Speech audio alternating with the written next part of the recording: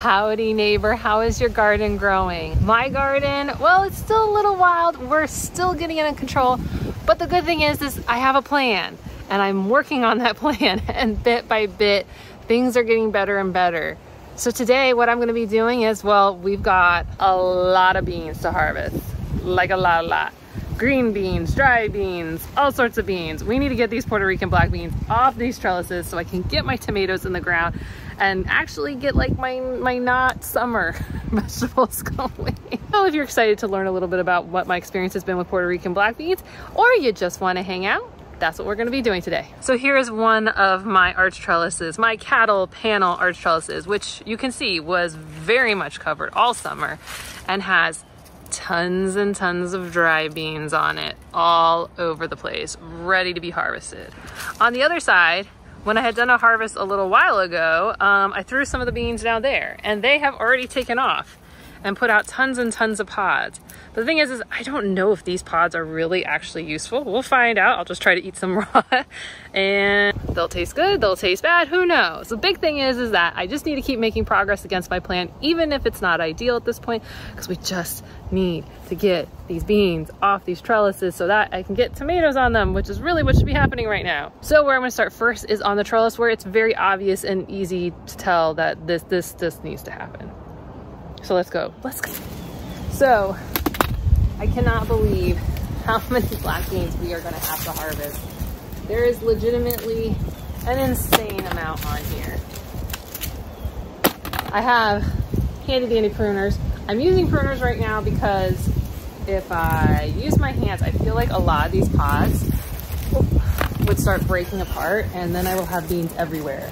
Not only will I have beans everywhere, I will have bean plants everywhere. And there's already enough Puerto Rican black beans that already escaped happening in my garden. So I kind of want to minimize some of this. Oh my goodness. We may be here forever and ever. Oh, we even have some green ones. I've been seeing these flower and I know like our ideal season is more in the. But I have been curious, have any of you guys tried these green before or as like little green babies? I'm curious. Should we try one? Because I do like young green beans. Oh, these are nice. They're really fibery. Mm-hmm. Yeah. I guess if you got them a little bit smaller, a little bit greener, you want to kind of, for comparison, if you've done this before, these aren't bad. Not as good as like when I do the, um, where they trail cheer, trail, trail of cheers. That's, no, Trail of Tears uh, Black Cherokee ones. I say I prefer those over these, but know, those are actually pretty nice. What those compost? Not bad. Wouldn't say as good, but not bad. I really like these Puerto Rican, I really like these Puerto Rican black beans. We use a ton of black beans. We eat chili, oh my gosh, at least twice a month. We're big chili people. Bean chili, no meat in it. So having lots and lots of beans is important for us. And a lot of the bean varieties I've tried in the past, they do, they've done okay. I would say the best one I, uh, that isn't Puerto Rican black beans was the Trail Tears ones, the Cherokee black beans. But other than that, every other bean I've done, mess. Okay.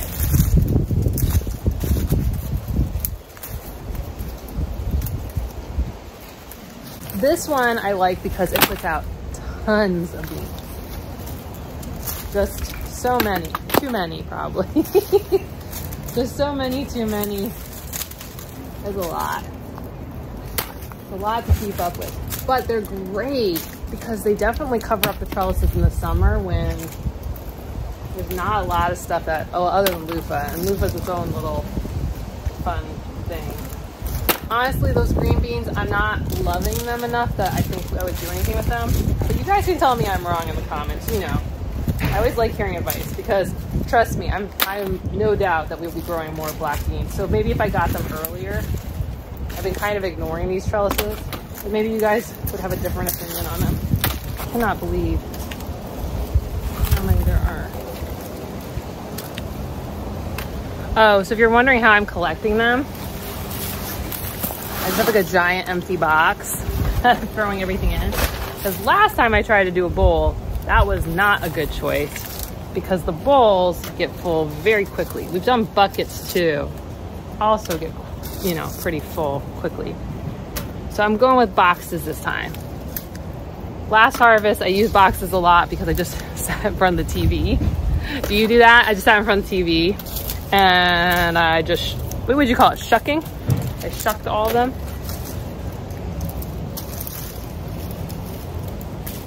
Hmm. See, like, I don't know if these are gonna dry out. I'll throw them in there for right now, but I might separate them out later. Some of these, you can see like these ones technically should be left on the vine. They're starting to dry out, but they're still, you can see the green still with them. So they technically aren't ready. I'll throw them in the box. We'll see if they can finish drying.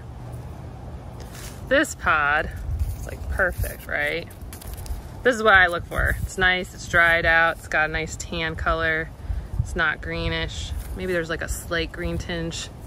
You can maybe pick up right here, but this is overall, it feels dry to the skin. Versus, let me find one. I know there's a ton in here. Oh, this was too late. This has been molding on the line. But I still keep these ones because sometimes you open them up and the pods are completely, the beans themselves are actually completely fine. So don't be too quick to judge. Oh, I see you falling down. Oh, oh, oh, oh, oh. There you go. So don't be so quick to judge these. If you don't see it like broken open, sometimes you open them and it's like they're totally fine. Let's take a look. Oh, these are definitely moldy. Yeah, we can leave those on the ground. It's one of those nice days where it's like really nice to be out here and just sit here and like clip along. God, there's gonna be so many beans. I'm gonna get through like a lot of seasons of Real Housewives shucking these things. Though, I'm a big fan of hand, like pulling apart the pods. I've been seeing some stuff about like throwing it in a blender or feeding it with a bag and then you blow the chaff off like a fan, which I don't have a fan. I mean, we could get a fan if we really needed to. But I don't know. I just like, it's very just like, I don't know, meditative. You just kind of sit there, peel them open. Also, I feel like you can find a pod and it's like, these are all good, but then like the ones that are right here are bad. And so unless you go back through all of your beans later before you store them, you might not pick up on the fact that some of them are bad. So like what I find is like this see if you guys can see this.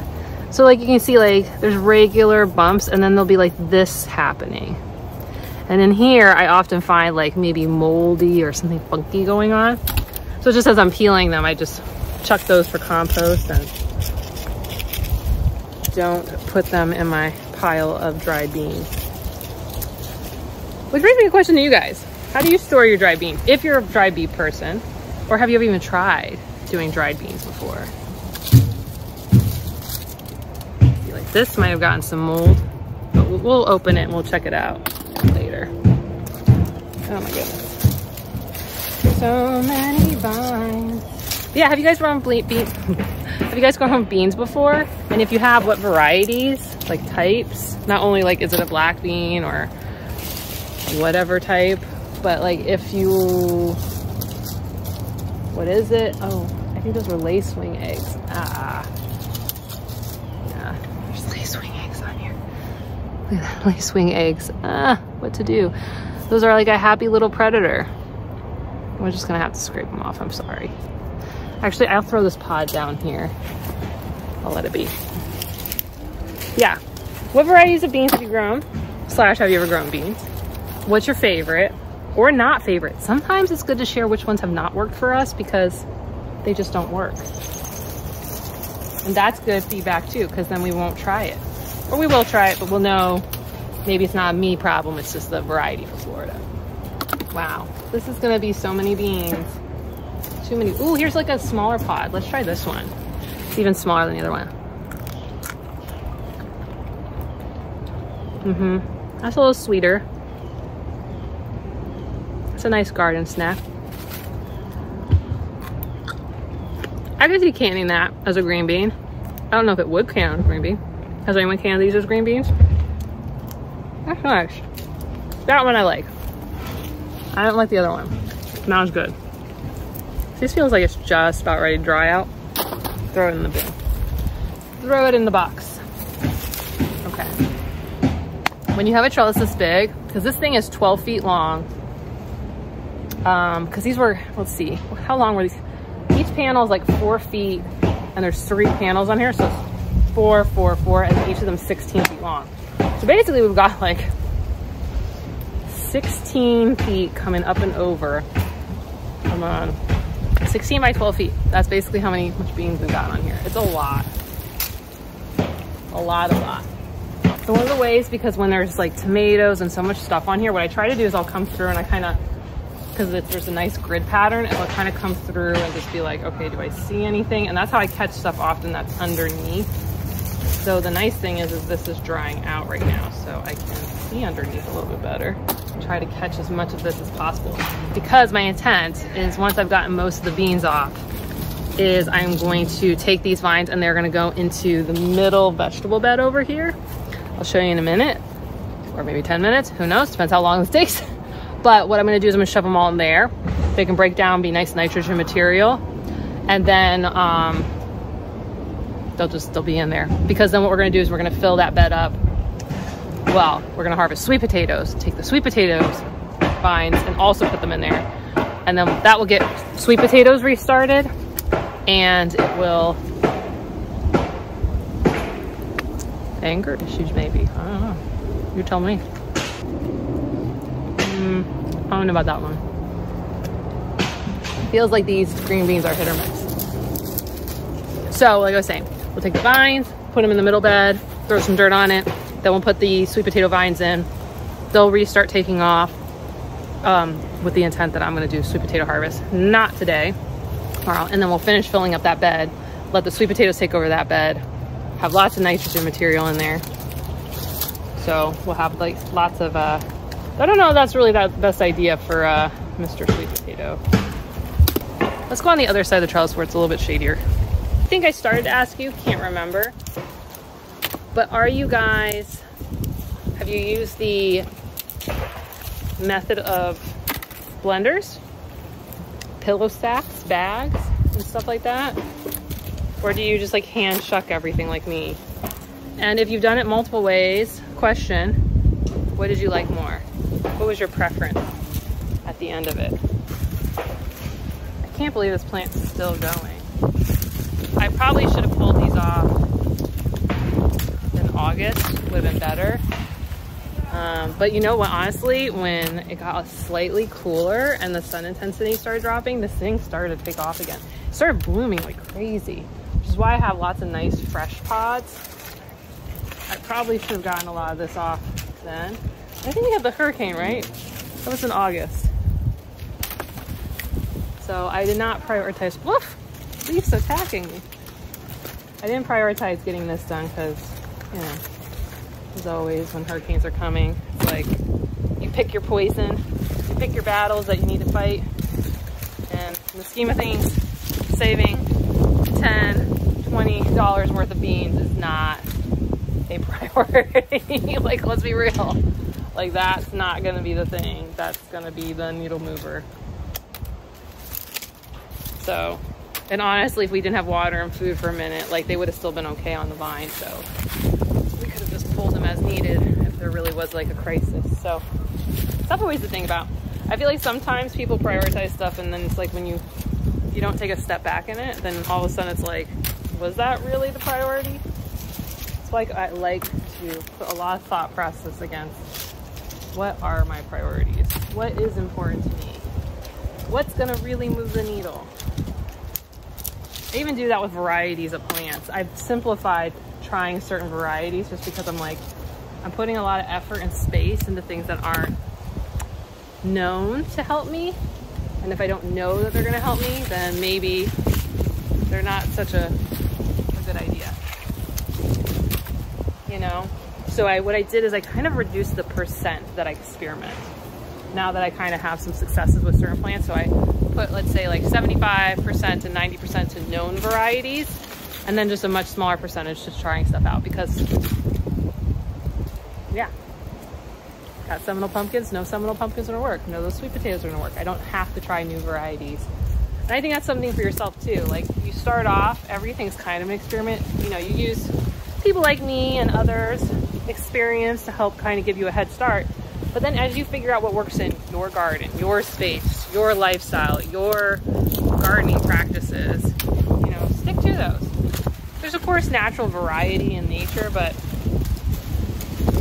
you know, you don't have to reinvent the wheel every year. Unless you want. Then go for it. Alright.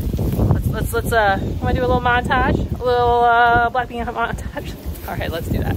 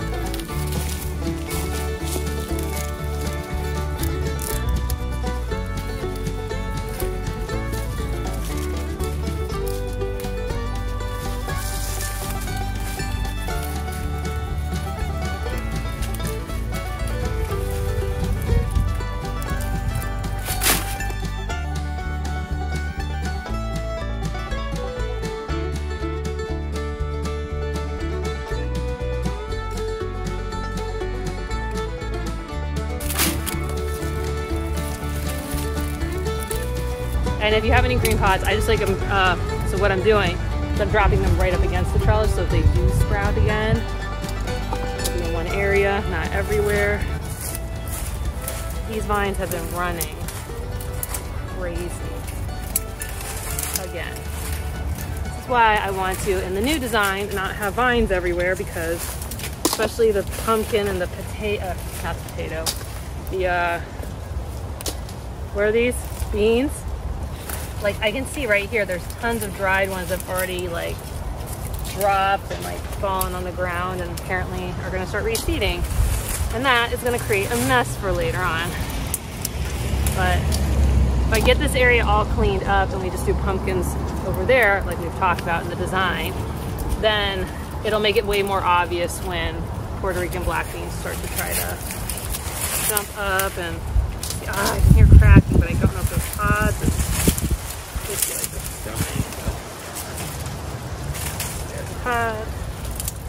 There's also like pumpkin fruit I can see down So Ben was nice enough to come out and help me. Hey Ben. Hello.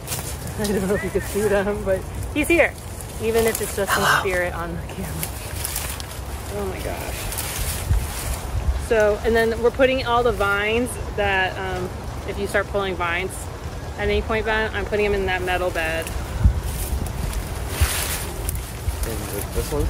No, that metal one back there. Oh, I see. Because that's the one that has the most drop on it.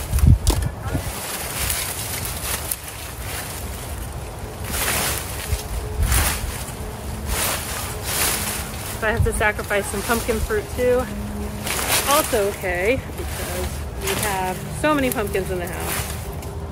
It's better that I get this under control over getting a perfect pumpkin harvest. Oh my gosh, this vine runs all the way to the other trellis. Jeez. Here, can you clip it? It actually started over here and then ran up that trellis. This is the problem with having vines right. everywhere. Clip it on over by, you see where that pumpkin Like right here? Yeah, just clip it.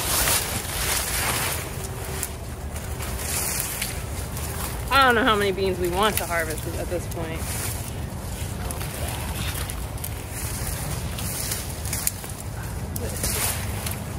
Oh, was that where it was in the ground? Maybe. Part of me is like, how many, how many beans do we need? Oh shoot, I totally missed. Um, I don't know. It's gonna be like a whole box. Easy. And this thing has been flowering like crazy, which the bees have loved. But now we got more native plants in, so the bees can love other things.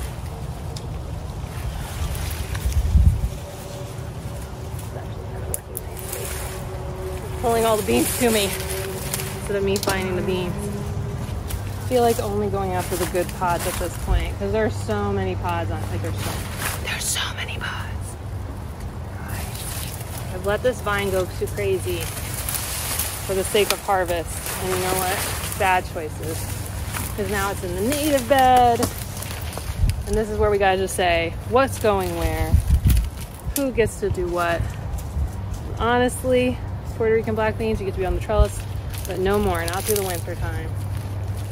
Is crazy. All right. And I don't know that I want a whole nother box full. You know? What do you think, Ben? Do you want a whole box full? No. Huh? No. Oh, there's a bumblebee. Oh my gosh, there's a bumblebee right by Ben, and he's not freaking out. Look at how much you've grown. Look how far I've come. Like he used to like freak out. He'd be like, oh, ow. the vine's like, stop making fun of your husband. Yeah, I'm sticking to more of the pods that look like nice. Ah. Oh, sorry. Did I almost attack head? I'm, looking, Yes. I'm doing the nice ones. You know, anything with mold. You all saw it. She assaulted me. This is a common gardening occurrence. No, don't end up in the box. We're not harvesting you, Puerto Rican leaf. Okay. Put this in the So now it is the time. Like, let's just get it off of here. Because I mean, like, how much more do I need? Like, I've got a whole box full. You know, we still have a bunch of dry, bla- uh, not black beans. We still have a ton of dry Puerto Rican black beans left. So, what am I gonna do with? Like, I'm just gonna end up with more and more. So, it's kind of where I'm at about like pumpkins too right now. It's like I'm not too worried if I mess some up because I need to draw down the inventory of what I currently have before I need to worry about production of current crops. We're doing too good. Too good. All right, let's start ripping all this out and shoving it in the other bed.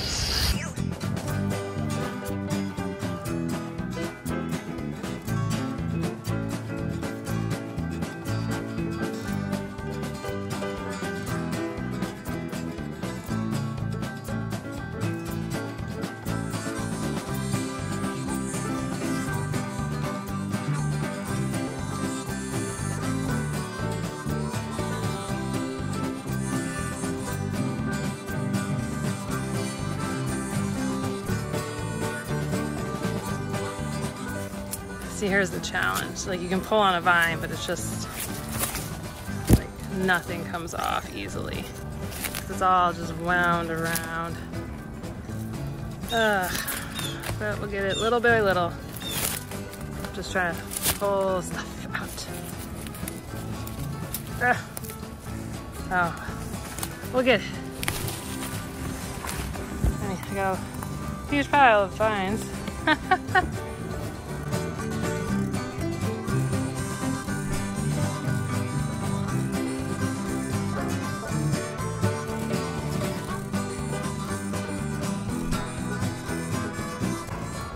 here's our progress so far. There's my giant pile. You can always tell which side's Ben versus me because look how methodically he's cleaned off this side. Everything from this section's done and he's making his way down and that's his pile. So while I've gotten more done, it's not in a very systematic way. It's just, ah! And he's always like, panel by panel by panel. you know? But I think this is why we work well together. Because I got a lot of junk off the top that he doesn't have to deal with.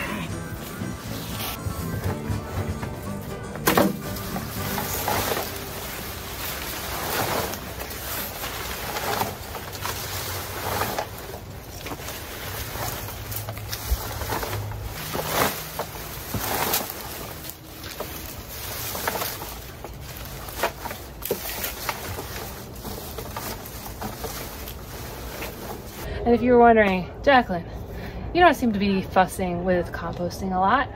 It seems like it might be easy. If you want to know way more about the way I compost, because as someone who worked an insane amount of hours didn't have time for high fussy maintenance techniques you can check out. I'll put this video at the end and you can see how I compost and how good it is at even bringing down an entire turkey carcass.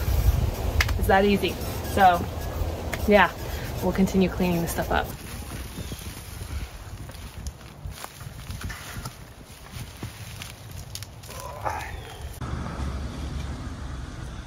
So Ben is wrapping up a lot of what we did and now we've got all these to shuck.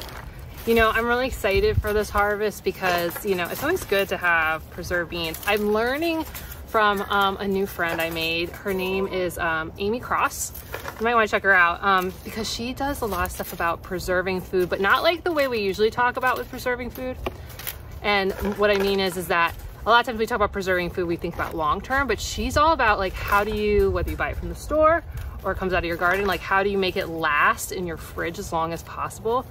Um, so I was watching some of her videos about like how to make berries last because we're big berry fans. And I was like, oh man. And then I was talking to her the other day and I was like, would this work on mulberries too? And she's like, yeah.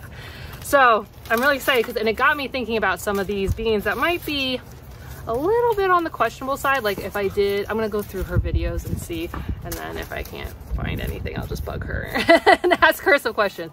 But she's a really cool lady. I'll link her channel down below, Amy Cross.